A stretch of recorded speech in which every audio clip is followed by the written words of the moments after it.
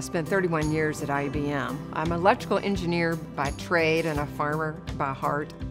When I started Equus Run, which is 23 years ago, uh, this was a tobacco, cattle, hay farm.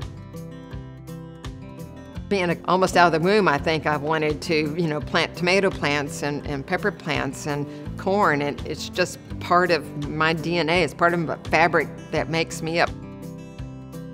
I grew up over in Hart County, which is about an hour and a half from here. My dad loved making fruit wines. It was always a, a chemistry project in our old little one-car shack of a garage. It, it just always stuck with me. We always had something bubbling in the cellar. We're in Woodford County, which is central to the horse industry. In this county alone, we have 154 horse farms. So that's how I even started with you know, naming the vineyard as Equus, which is Latin for horse. And of course, horses run. So that's how I got Equus Run Vineyards. We grow Vidal Blanc, we grow a Cabernet, we also have a Norton and a Chardonel, which is a French hybrid of Chardonnay. This is a happy business, right? No one comes to a winery in a bad mood. it's like they're here, they're going to explore, we're going to sip some wine, we're going to have a good time. So let's now, we've swirled, we sniff, and this is an aged wine, it's two years old, and then let's sip. We love our, our breweries and our bourbon distilleries, also our cideries and, and the mead houses. It's one of co-opetition, it's not one of competition. And that's very important in the spirits industry.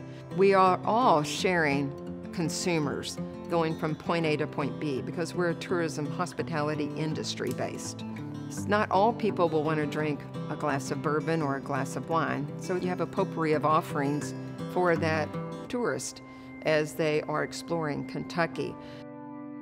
One of our wines, we were probably in our fourth or fifth year, um, actually got reviewed in the New York Times. Apparently a tourist was traveling by and bought some of our white wine and took it to New York. And all of a sudden our phone started ringing off the wall and we have no idea what in the world.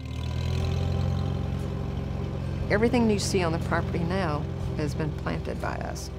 Every tree, every vine, every flower, every bush, everything.